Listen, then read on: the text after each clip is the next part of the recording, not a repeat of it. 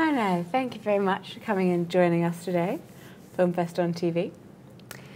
Now, we're going to be showing three of your films today, but first of all, we just wanted you to share with our audience the wonderful story of how you became interested in film.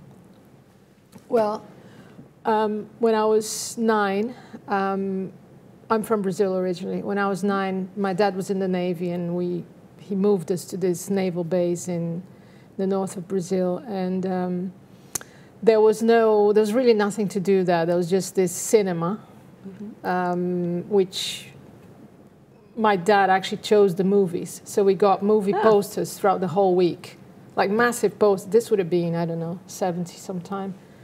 So imagine the big hits of the 70s, they'll get the posters. But I didn't know anything about film. Actually, I was eight. Um, and uh, my dad would choose all the programs for the cinema. Mm-hmm. And uh, so we'd have films there throughout the week. But on Sundays, the cinema became a church because there was no other building in the, in the base. It was like a beach, the cinema, and some houses. That was it. Um, so on Sunday, they, they have Mass, and I was raised a Catholic. So all I remember is watching films all week, Monday to Saturday. and on Sunday, there was this priest giving us the communion and stuff against not Jesus, but a white screen. Aww. So in some way, that all became, you know, religion, religion and filmmaking, you know, devotion, faith became connected to cinema for me. Hmm. And you said you used to be a Catholic. I used to be a so Catholic, yeah. Not anymore. Now well, it's cinema? Yeah, my mom says, oh, the moment you did your first communion, I, you, you, shouldn't have done that if you weren't going to be serious about it. Mm. But I think I was expecting some great mystery or secret because my fr- older friends would have the, the wafer. Yeah. And I thought that must be absolutely amazing. and then when I did it, and it was just like a, a, a, dry bit of biscuit. And I didn't get any revelations or mm. anything like that. It was just the smell of incense and and the priest would say, Here's the mystery of faith. And I said, Well, there's no mystery here that I can see. So I just lost interest. I still go to churches and I have like yeah. a, a, moment of connection there, but I, I'm much more sort of spiritualized these days. And very much into cinema. Can you very briefly tell us about the first film you're going to be watching, yeah. Lurex? Yeah. So Lurex was um, we did it in 2004, I think. Yeah, so that's 11 years ago, and uh, it was a script that I wrote. It was just a, it was just a love story between mannequins. It's like a love triangle. Mm-hmm. And I had the idea because I used to live in Brick Lane, and they've got some amazing mannequins in that street, or at least they did back then. And I quickly wrote the script, and I I told a friend of mine who was a camera operator, and he said, "Oh, this is great. Let's do it." And then I applied for the Tower Hamlets Film Fund, mm-hmm, and mm-hmm. they gave me some. They gave me four grand to oh, do it. Brilliant. Well, let's have a little look at Lurex.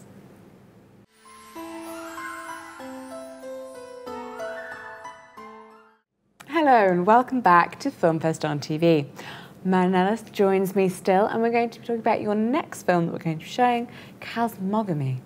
Can you just tell us a little bit about what that film is?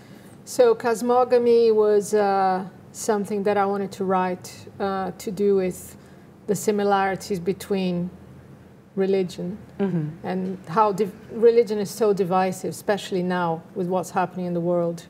Um, and this film I shot in 2006, so it's about nine years ago.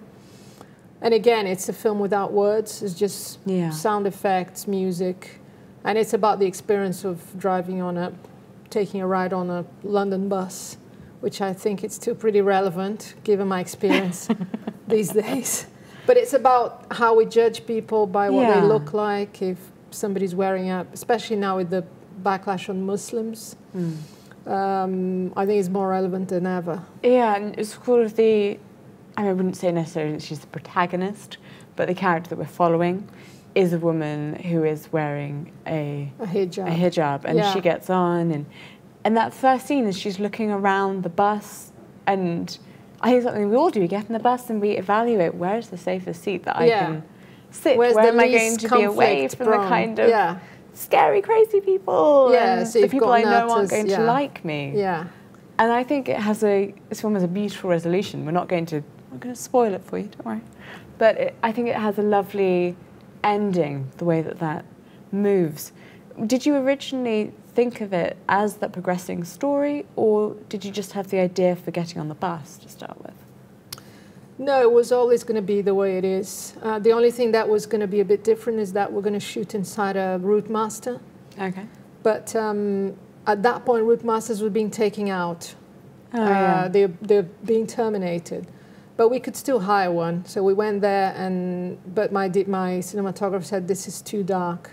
We cannot shoot it without extra lights here. Mm. And we had five grand from a guy, really rich guy, saw Lurex and, re- and get, just gave me five grand to make a film.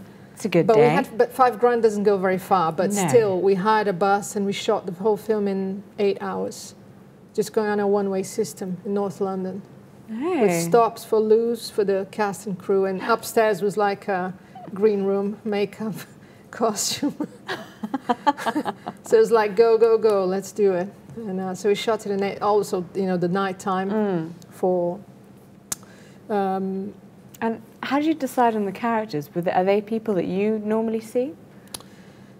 yeah, it's just it's just people I observe. Mm. because I think filmmaking gives me an eye that I'm always observing people and what their reactions to each other are, and that, so that was really. Well, let's have a look at those observations then. Here is Kaz.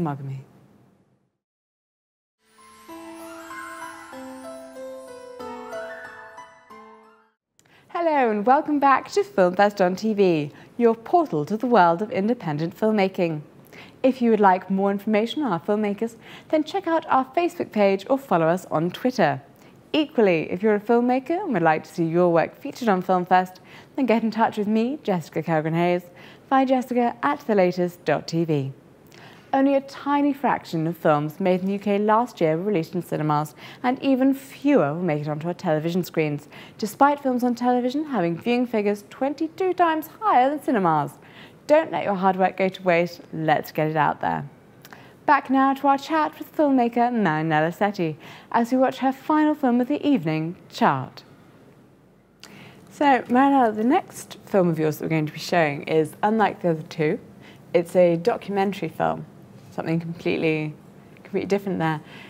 What was your feeling doing a documentary as opposed to doing something fiction? Well, that documentary is the first thing I ever did as a director, and it was like uh, trying my hand and seeing what, seeing what I could do. Because I've been working filmmaking for like 20 years, Mm-hmm.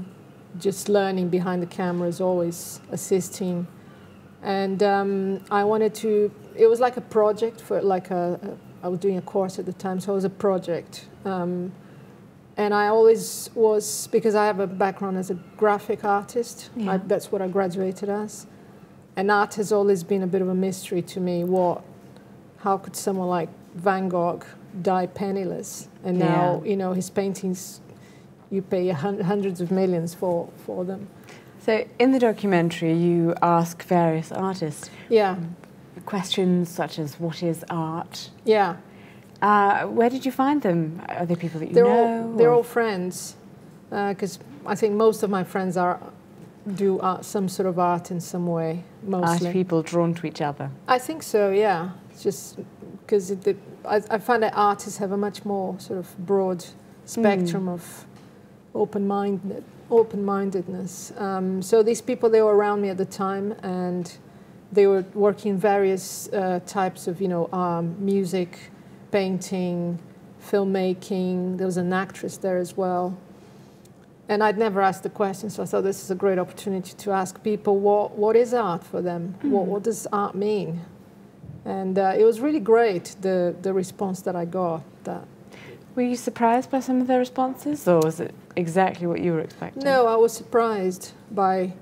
I think what I got from it was that a lot of them would say would say that art is about communication, Hmm. because you can argue that you know you've got on one end of the spectrum Van Gogh or I don't know Steven Spielberg or Mm-hmm. people who are artists who used art or use art to um, to reach other people. Yeah. But you know, someone like Steven Spielberg, he reaches millions of people. Um, or someone like I don't know, some obscure Ed Wood, you know, the famous filmmaker from the 50s who was they, he, he was called the worst filmmaker in the world. Not a lot of people watch his movies, but he was out there communicating. But of course, there is the theory that um, the thing that makes a great film is not necessarily whether it's lit well, whether the characters are written well, but whether it has an emotional response Yes. amongst your audience. Yes. And would you say, having learned from this documentary, that great art is something that evokes an emotional response? Whether Yeah. it's, you know, good looking or. Yeah, Not. I, I would say that absolutely, um, and that's how filmmaking really started to become Mm. filmmaking, really. Um, and that's my issue with some filmmaking that is done specifically to get profits. Mm. I don't mind. I think it's great that there are films that make you know billions of pounds, but as long as they reach people in their soul Yeah. in some way and communicate something that at the end of the day is going to transform your experience as a human being. That's why I make films. Mm. And that's my channel of um, expression. Because when I started out, it was about either, read, uh, either writing, photography, playing drums, or, but it wasn't, there was something not expressed. And then, yeah. well, they say filmmaking is the seventh art. So all the other six first arts would be something photography, dance, music, writing. So cinema is the culmination of all these things, which I always loved anyway. And of course, film is something that we can put all of these arts into. Yes. It's something that's very multifaceted, something Yeah. that we can discuss. Oh, actually, we can discuss this a little bit more after the film. yes. Um, so here, we hope you very much enjoy this interesting documentary on chart.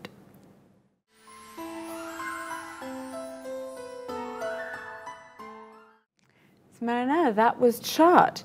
Now, can you tell me, were you deeply inspired after making this to then go on and make your own um, fiction films, as we saw earlier, to write your own scripts, to have brilliant ideas? Yeah, uh, it was more about the, the logistical side of it because I had written scripts before that, Mm. but it was always a bit, oh, I'll find the time sometime. Yeah. But because that was a project that I had to do, suddenly it was like a kick up the ass. All right, right, okay, so this is how I do it and I can do it and fine, it's, but it's done. Yeah. So after that, it was, I think, the next year that I quickly wrote uh, the script for Lurex. And this friend of mine said, Great, let's do it. I said, All right, okay. So we got the money, and then we pulled a lot of favors in Soho because doing film work, I know a lot of people there. Mm. I pulled all the favors I can, I can get right now. I need to give people some paid work now. and some more favors. And some more favors, yes. yeah. but yeah, it, it got me to see that, yeah, it's totally doable. Mm. just do it. It's, it's a question of getting the right team. I think it's very inspiring. I think a lot of people who are very creative don't necessarily. I think we tend to squash ourselves down. It's that kind of if you know if I'm not doing something big and marvelous and wonderful, then I'll, I'll just leave Yeah, it. Yeah, well, th- that doesn't work because you only have your voice. You, Mm. have, you have to amplify it. And these days, with you know iPhones, they've got really good cameras, Mm-hmm. little software programs. It's much easier to make films than 10 years ago. Hmm. 10 years ago, the, my first two films were when our Super 16, which is an exp- I had to like scrape bits from the shoots that I work on Yeah. and uh, beg and steal and borrow. But now you don't need film. I mean, I do love film, but you don't really need film to make No. a film now. And there's hundreds of festivals, so you can. If Uh, you, you if can make a brilliant film on your iPad exactly. and then send it to us. We'll put it on TV. There you go. yeah, I, I think it's a really, it's quite a motivating thing to say that I was working in this industry, but I didn't go out and make my own thing until suddenly I was pushed to. What would you say to someone who's sitting there thinking, you know, I know I'd like to do that, but I just don't, I just don't have the time. Well, yeah. Uh, if you don't have the time, then you'll never have the time. Mm. Because time, you don't have it, you create the time. Yeah. So you can sit and think, I'll do it when I have the time. It, it's not going to happen. It, it really needs action. Make the time, make, Make it happen. the time, create the opportunities there. That's how I did it, and I, I recommend that to anyone. Ah, and where are you going from here? What's the next big plan? So I have three features in develop. Well, wow. two films that they're kind of last stages of development, so we hope to shoot at least one of them this year. But that's a big leap for me because I'm going from a budget of five grand to a million. Whoa, goodness. So, Quite a scale up there. Yeah, that's uh, usually, um, actually, no, hang on. Yes, because my last film uh, was a 25 minute film, which I didn't bring because it's still going out to festivals. Mhm. That was a bigger step up as well because we had Jo Hartley from This Is England and Toby Jones, who I worked with. And now I'm going up. You know, Yeah. the, the whole point is going up in. in Well, we very much look forward to seeing all of your future work. Thank you very much. Thank you much. very much. Thank and you. we'll see you after the break.